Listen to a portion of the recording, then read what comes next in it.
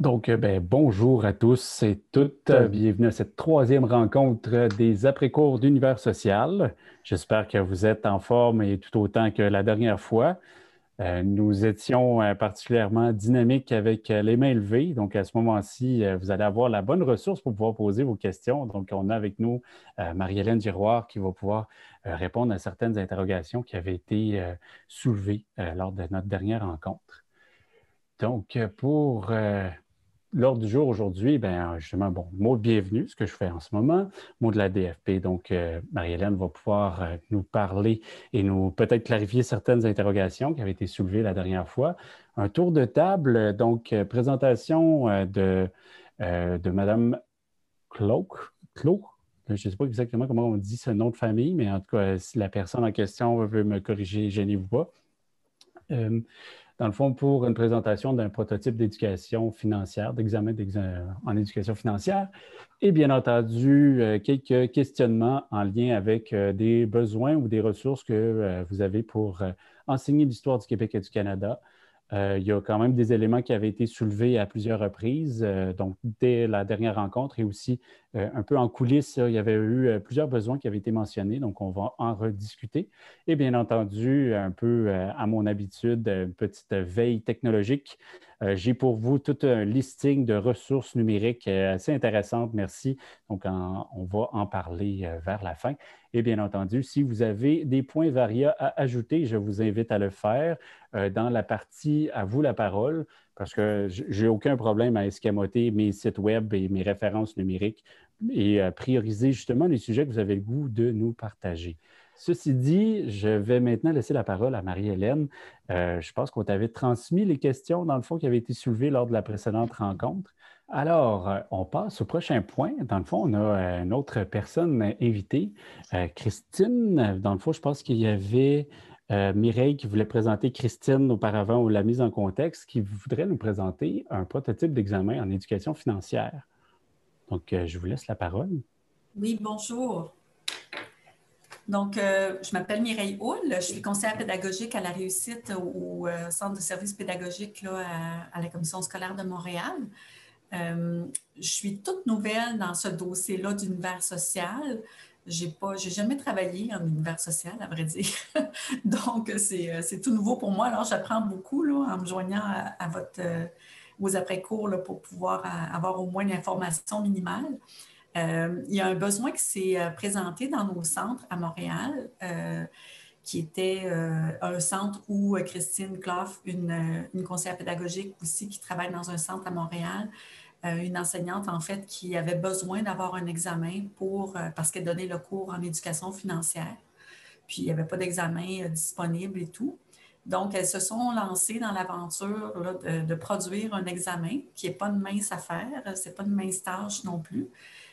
puis, elles m'ont demandé à la toute fin du processus d'essayer d'avoir un regard là-dessus alors, euh, c'était très humblement, disons, que j'ai été euh, un coup d'œil sur, sur cet examen-là. Je ne me sentais pas euh, du tout qualifiée pour pouvoir valider un examen ou quoi que ce soit.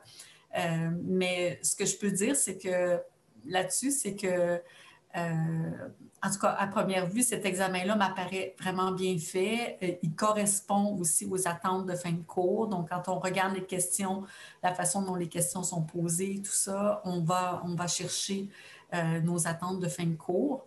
Euh, il n'y a pas de DDE, donc c'est difficile d'être complètement sûr de, tout ça. Mais en tout cas, je pense que c'est un bon premier jet. Christine, elle va pouvoir vous le présenter plus en détail. Euh, puis, euh, il va être déposé aussi euh, sur le Mahara. Donc, à ce moment-là, ben, si vous avez, par exemple, des, commentaires ou des questions ou des propositions à faire, pense, je pense aussi, Christine, de toute façon, avait prévu de vous en parler. Gênez-vous pas pour le faire parce que tout, tout, est accueilli, tout est ouvert là, pour ça. Puis, euh, on préférerait même que recevoir vos commentaires, vos questions ou vos recommandations ou en tout cas votre œil euh, d'enseignant en univers social parce que plutôt que, euh, que chacun le modifie, chacun de son côté, pour qu'on puisse assurer en fait une, meilleure cohérence de, de, ce, de, ce document-là. Donc, je vais laisser la, parole à Christine qui a travaillé fort pour construire ça avec une enseignante de son centre. Puis voilà, bonne présentation.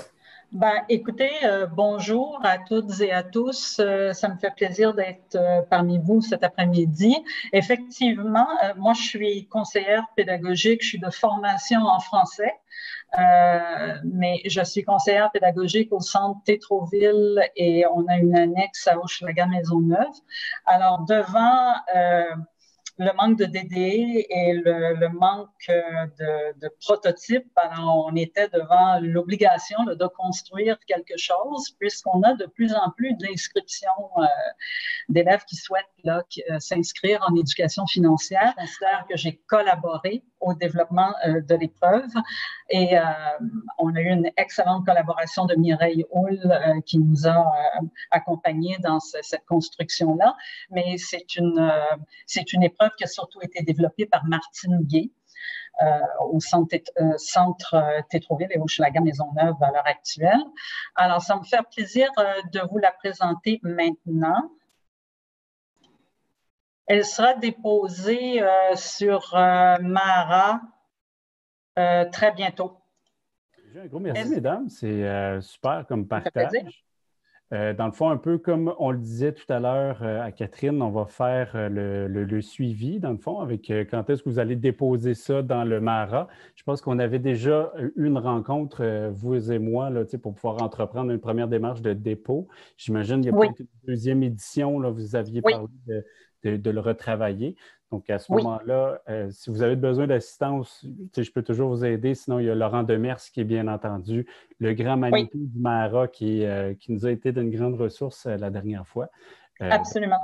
À ce moment-là. Ça va être déposé cette semaine. Ça va être déposé cette semaine. Ça se pourrait que je vérifie avec Laurent exactement à quel endroit. Là. Je ne sais pas si ça va être dans les épreuves ou dans. Je pense que c'est dans fichier, si je comprends bien. Alors, euh, alors, on espère avoir de la rétroaction parce que c'est comme ça qu'on va pouvoir améliorer euh, l'épreuve. Euh, l'enseignante a déjà eu, en, fait, on l'a validé, nous, et ça fonctionne très bien. Ça semble être une réussite auprès des élèves jusqu'à maintenant, mais ce serait vraiment intéressant d'avoir votre, votre rétroaction à vous tous. je vous remercie beaucoup. Ben, merci à vous. Euh, je sais juste à rappeler pour ceux qui ne sont pas au courant que l'accès au MARA est essentiellement euh, attitré aux conseillers pédagogiques qui sont, qui sont mandatés euh, du travail de, l'univers social. Donc, grosso modo, c'est moi qui, qui est entre autres gestionnaire du MARA Univers social. Donc, si vous voulez avoir accès à ce, à ce document-là, donc si vous êtes déjà dans la communauté de MARA, euh, vous allez pouvoir le retrouver dans la section fichier.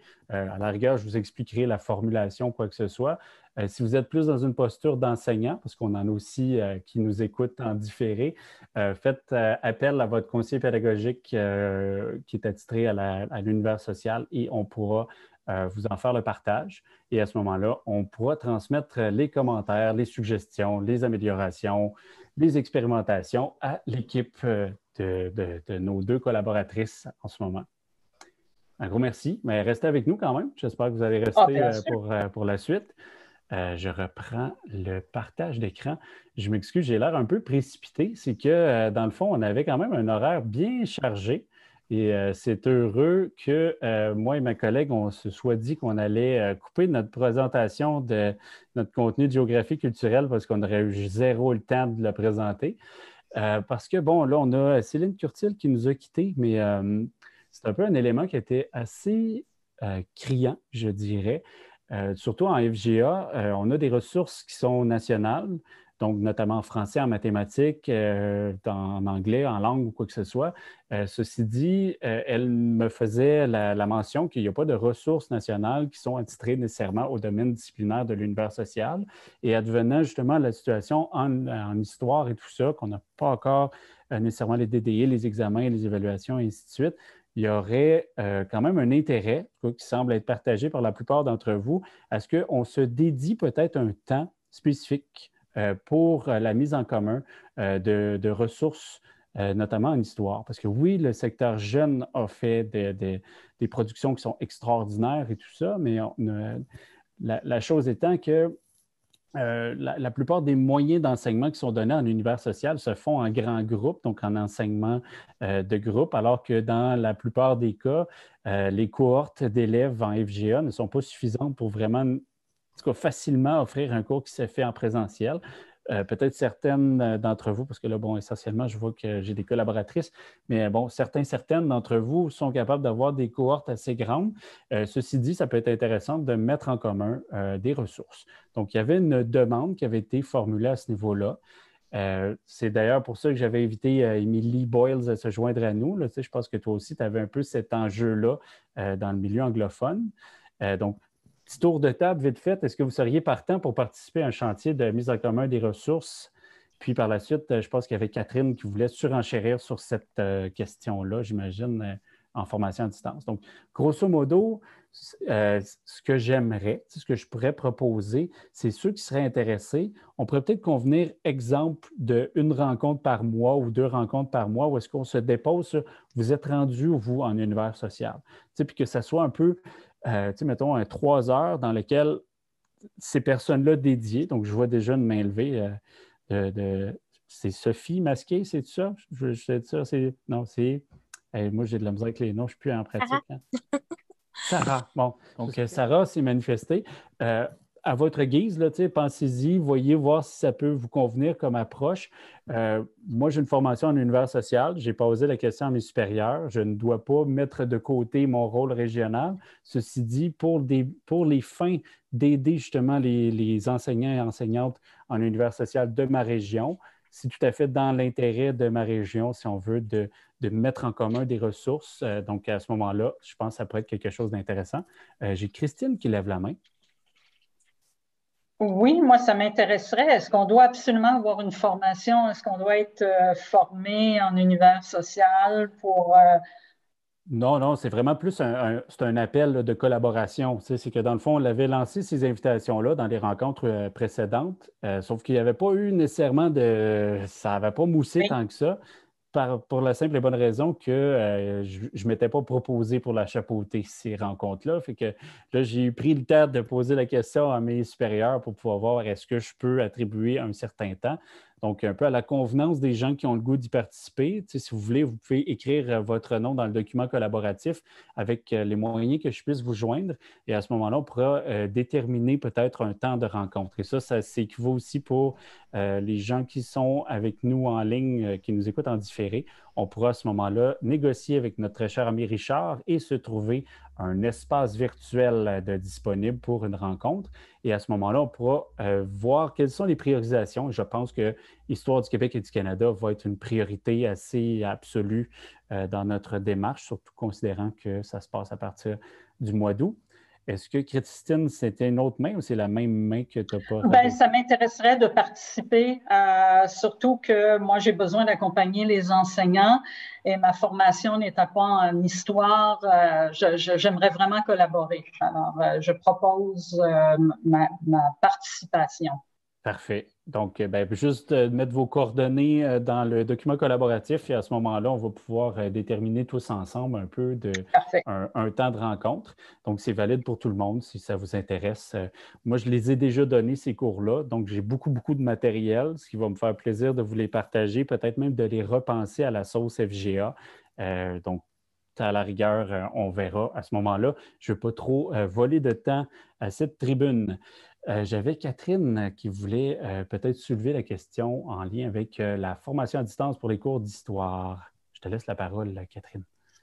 en fait, non, la, question, c'est ça, je l'avais écrite, là. C'était les, les, conseillères d'orientation, en fait, qui m'avaient questionné concernant les, les cours d'histoire qu'on donnait en FAD. nous, on donne encore les, cours d'histoire, mais en FAD, on donne six mois aux élèves, sauf que là, à partir de, comme si on, compte à partir d'aujourd'hui, ben, six mois, ça mène en octobre.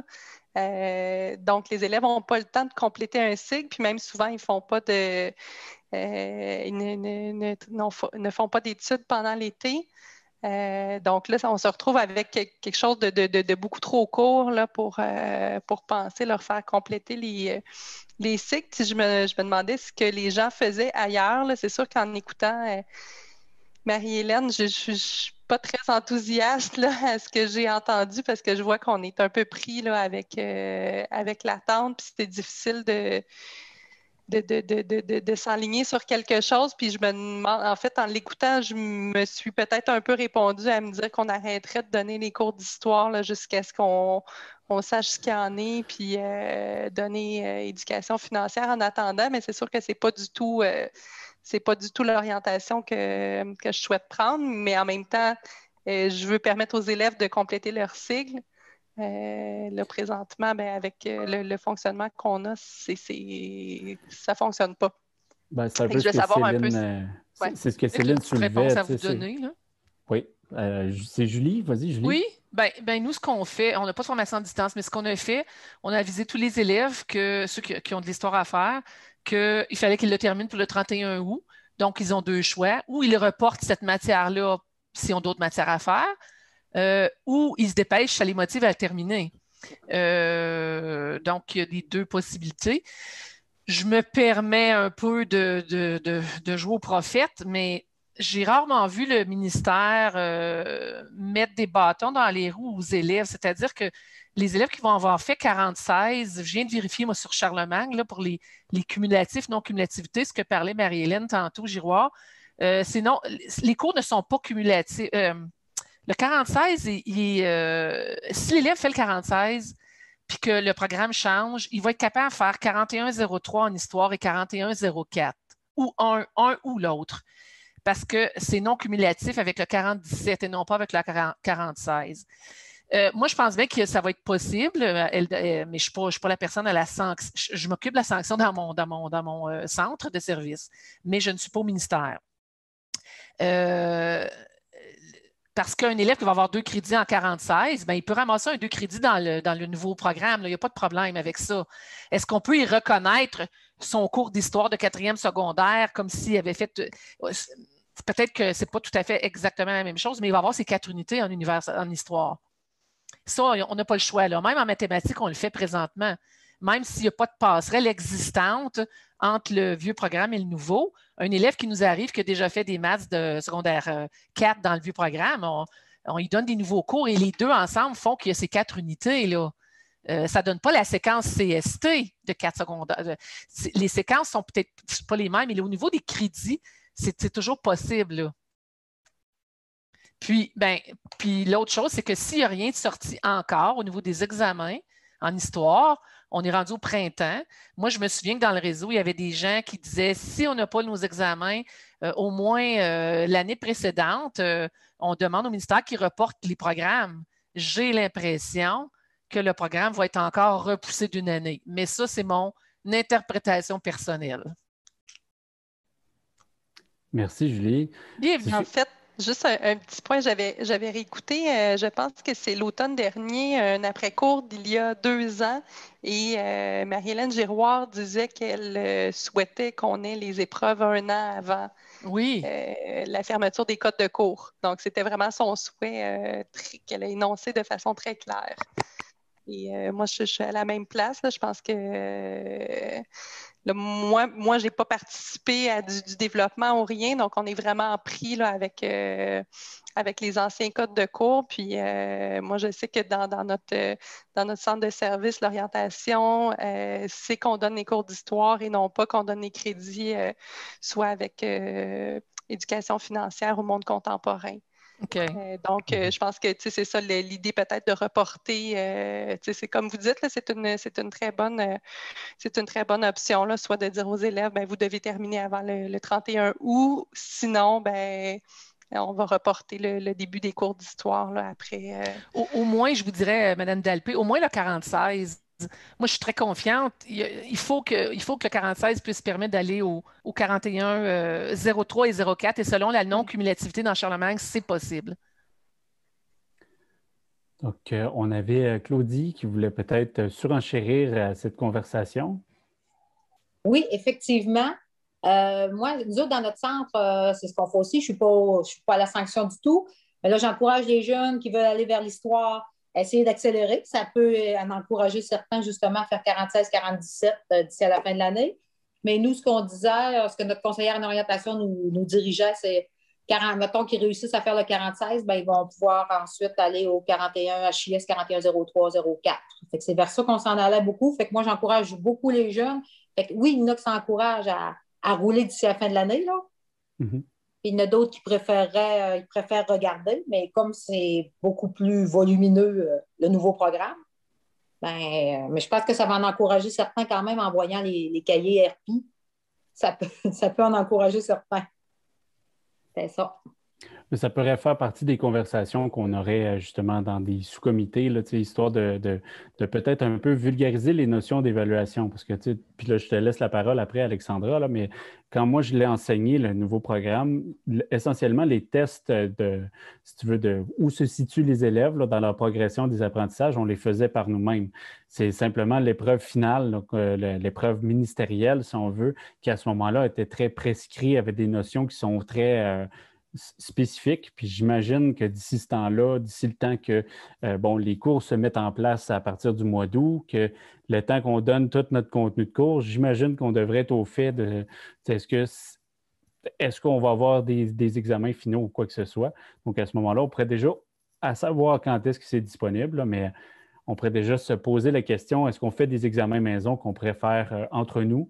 Qui, euh, qui vont quand même prendre en compte des opérations intellectuelles, des opérations, euh, des différentes compétences qui sont à développer en univers social. Alexandra, je te laisse la parole. Oui, je fais ça vite. Euh, en fait, moi, il n'y en a pas d'histoire où je suis. Là, on fait juste du monde contemporain, mais en FAD, par exemple, j'en fais, puis de donner une date d'examen au lieu de donner un six mois, là, on a changé ça, nous, cette année. On donnait cinq mois, puis avec une date d'examen déjà comme pré euh, décider à l'avance, ça aide beaucoup. Les élèves sont plus motivés. Fait que je pense que de faire, de, dire, mettons, l'élève, ben, d'ici 31 août, tu fini, ça va vraiment les motiver, ça devrait aider. C'est tout. Super. Donc, euh, loin de moi l'idée de, nous brusquer, c'est simplement, bon, vous avez tous des agendas euh, probablement très remplis. Comme vous pouvez voir, j'avais quand même un beau gros listing de ressources web. Je vous invite à aller les consulter. parmi mes préférés, donc pour ceux qui c'est juste, je termine un peu avec ça euh, quand même. Euh, bien entendu, il y a une infolettre de la communauté d'histoire qui est toujours intéressant, qui arrive euh, de l'équipe de M. Quirion. Donc, l'équipe d'Univers social sont quand même en feu au secteur jeune. Ceci dit, un peu comme l'histoire se répète, il y a des choses qui sont peut-être un peu moins adaptées à la réalité de la formation générale des adultes. Ceci dit, ça vaut quand même le coup d'œil. Euh, il y a bien entendu le site de Monsieur Univers Social, euh, donc un jeune homme universitaire qui n'a pas d'enfant puis qui est capable de travailler jusqu'à 3-4 heures le matin et d'être toujours aussi dynamique dans ses productions. Donc, ça aide quand même d'avoir euh, quelques regards. Bien entendu, euh, lorsqu'on parle des fameuses opérations intellectuelles, euh, donc euh, l'élément qui fait vraiment une transformation entre l'ancien et le nouveau programme, c'est vraiment cet aspect-là. Donc, les grilles d'évaluation des opérations intellectuelles, pour ceux qui veulent se mettre à jour dans ces nouveaux enjeux d'univers social, le lien est ici. Mon préféré, et non le moindre, bon, pas celui-là, mais bon, ça, c'est un dans le fameux Visual Capitalist. Vous allez voir, j'en ai sorti un méchant paquet. Donc là, c'est les différents chefs d'État à travers le temps. Donc, c'est quand même très cool. Mais mon préféré que je voulais vous dire, puis euh, dans le fond, ce n'était pas le bon que j'ai cliqué, euh, dans le fond, c'est le time-lapse de Google. Donc, euh, Google, figurez-vous donc il prend des images de la Terre depuis 1984 et vous les avez en timeline. Donc, vous pouvez voir défiler la Terre au grand complet et voir le réchauffement climatique, la fonte des glaciers, euh, voir la construction des villes dans un time-lapse assez rapide. Donc, c'est quand même super intéressant de voir près de 40 ans se défiler devant vous. Euh, donc, au niveau euh, de la sensibilisation des élèves, soit pour monde contemporain, soit des éléments de géographie régionale, géographie culturelle, ou j'imagine dans votre contexte, ça va être surtout monde contemporain. Et bien entendu, bon, euh, vous irez voir, euh, là, je sais que je dépasse déjà mon temps, mais il y en a pas mal là-dessus, plusieurs sujets de conversation qui sont super intéressants, euh, notamment un que j'ai justement à l'écart de richesse entre les générations, ça crée une chicane chez nous. Donc, euh, si jamais ça vous tente de, regarder des questions, des enjeux éthiques qui touchent euh, notamment les écarts générationnels, ça touche entre autres populations euh, dans les thèmes de monde contemporain. Super intéressant de pouvoir voir qu'il existe un écart de richesse, un écart économique qui s'exacerbe de plus en plus, notamment à cause du COVID. Bien entendu, carte du monde de, qu'est-ce qui se passe avec la COVID. Bref, je vous invite à aller cliquer sur ces hyperliens. Euh, donc, euh, je ne veux pas non plus trop vous retenir. Je sais que plusieurs d'entre vous ont peut-être des rendez-vous à 14h02. Euh, je souhaite que vous poursuivez en paix. Je vous annonce qu'on va présenter notre fameux cours de géographie culturelle euh, en fait, on est quasiment content qu'on n'ait pas eu le présenter parce qu'on n'était pas prêt. Donc, euh, ça répond à un besoin euh, de notre côté aussi. Sinon, c'est quand même un très, très beau projet. Autrement, ben, je vous souhaite d'aller à Zampé, tous ceux et celles qui se dédient à l'univers social. Ici Jean-Félix. À la prochaine.